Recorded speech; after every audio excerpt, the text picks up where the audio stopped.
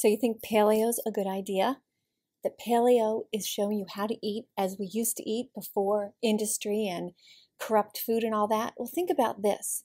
All the studies that say how great paleo is, forget about. People lived really short lives back then. You cannot compare what we have now and our lifespans and our lifestyles with people who lived in caves thousands of years ago. That's ridiculous. And another reason it's ridiculous is because it's unsustainable.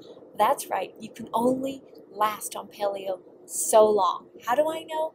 Because I've seen so many people I know do paleo and they get thin and they get fat. And it's like that everywhere. So next time you're tempted to go on a diet like paleo, Remember, it's a short term weight loss followed by a long term weight gain, followed by you feeling like it's all your fault, when in reality, the diet is ridiculous.